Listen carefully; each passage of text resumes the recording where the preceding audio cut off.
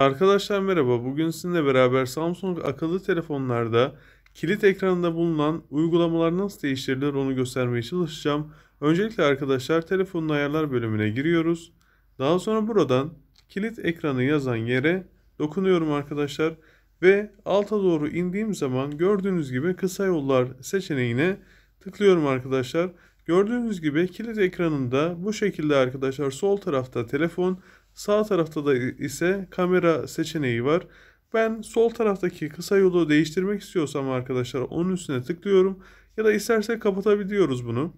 Diyelim ki ben hangi uygulamanın burada olmasını istiyorsam diyelim ki ben e, el feneri seçmek istiyorum. Gördüğünüz gibi sol tarafta artık el feneri var. Sağ kısa yolda arkadaşlar bu şekilde üstüne tıklıyorum ve diyelim ki ben Başka bir uygulama seçeceksek arkadaşlar buradan e, dediğim gibi üstüne e, tıklayarak da seçebilirsiniz ya da açık olan şeyi de kapatabilirsiniz. Diyelim ki ben rahatsız etmeyin ya da ayarları da seçebilirim arkadaşlar problem yok.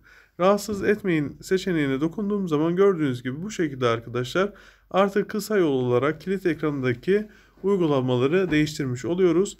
Beni dinlediğiniz için teşekkür ediyorum.